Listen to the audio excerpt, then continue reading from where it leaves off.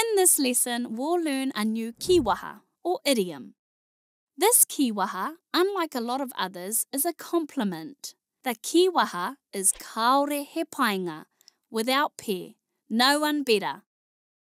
Kaore he painga literally translates to is of no good. I was confused the first time I heard this, but trust me, it's a compliment. So, if you hear someone use kaore he painga, it's actually a compliment. Let's put it in a sentence. Kaore he painga i a koe. You are without peer. Kaore he painga i a koe mo te oma. You're without peer when it comes to running. Kaore he painga i a koe mo te moe. You're without peer when it comes to sleeping.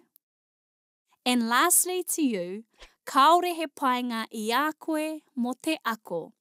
You're without peer when it comes to learning. Next time you want to acknowledge someone, use kaore he painga. Give it a go.